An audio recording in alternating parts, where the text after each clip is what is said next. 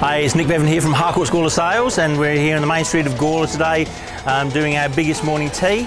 Um, we do this every year as a fundraiser for Cancer Council, and we accost people in the street and try and persuade them to part with their money for a cup of coffee and a cake. I think this is about our fifth year, really, um, and it's just something we the team like to do.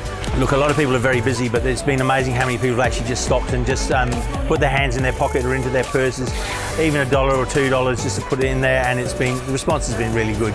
But you know, it's tough times for everybody, and everybody's very busy, so it's always a bit hard to pin them down. But we, we generally get a really good response. I love it, yeah, love it. So we just get to talk to people, you know, and there's a lot of people that we know who we've invited, so it's a bit of a giggle, a bit of a change for the daily routine. So, well, you know, not, not stuck in front of the computer for the morning, so it's good.